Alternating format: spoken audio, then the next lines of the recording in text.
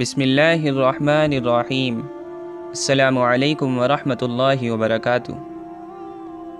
مسلم کی ایک حدیث میں حضرت تمیم داری رضی اللہ عنہ سے روایت ہے کہ رسول اللہ صلی اللہ علیہ وسلم نے فرمایا، دین نام ہے خلوص اور وفاداری کا۔ ہم نے عرض کیا کہ کس کے ساتھ خلوص اور وفاداری؟ ارشاد فرمایا، اللہ کے ساتھ، اللہ کی کتاب کے ساتھ، اللہ کے رسول کے ساتھ۔ مسلمانوں کے سرداروں، پیشواؤں کے ساتھ اور ان کے عوام کے ساتھ۔ امام نووی رحمۃ اللہ علیہ نے لکھا ہے کہ کل مقاصد دین کو یہ حدیث جامع ہے اور اس پر عمل کر لینا گویا دین کے پورے منشا کو ادا کر دینا ہے۔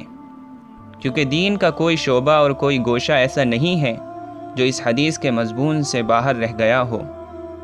اس اجمال کی تفصیل یہ ہے کہ اس حدیث میں اللہ، کتاب اللہ رسول اللہ ائمہ امت و پیشوایان ملت اور عوام مسلمانوں کے ساتھ خلوص و وفاداری کو دین بتلایا گیا ہے۔ اور یہی کل دین ہے، کیونکہ اللہ کے ساتھ اخلاص و وفاداری کا مطلب یہ ہے کہ اس پر ایمان لایا جائے، ممکن حد تک اس کی معرفت حاصل کی جائے، اس کے ساتھ انتہائی محبت کی جائے، اس کی اطاعت و عبادت کی جائے، اس کے ساتھ کسی کو شریک نہ کیا جائے۔ اور مالک مقتدر جانتے ہوئے اس سے ڈرا جائے۔ غرض پورے اخلاص و وفا کے ساتھ ابدیت کا حق ادا کیا جائے۔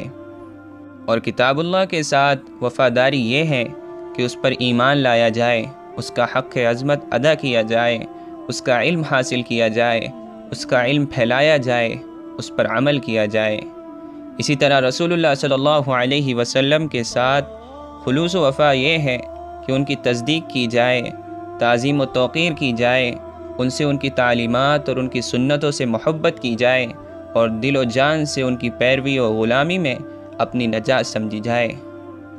اور ائمہ مسلمین یعنی مسلمانوں کے سرداروں اور پیشواؤں، حاکموں اور رہنماؤں کے ساتھ خلوص و وفاداری یہ ہے کہ ان کی ذمہ داریوں کی ادائیگی میں ان کی مدد کی جائے، ان کے ساتھ نیک گمان رکھا جائے اور اگر ان سے کوئی غفلت اور غلطی ہوتی نظر آئے تو بہتر طریقے پر اس کی اصلاح اور درستگی کی کوشش کی جائے۔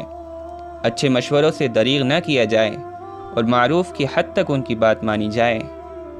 اور عام مسلمانوں کے ساتھ خلوص و وفا یہ ہے کہ ان کی ہمدردی اور خیر خواہی کا پورا پورا خیال رکھا جائے۔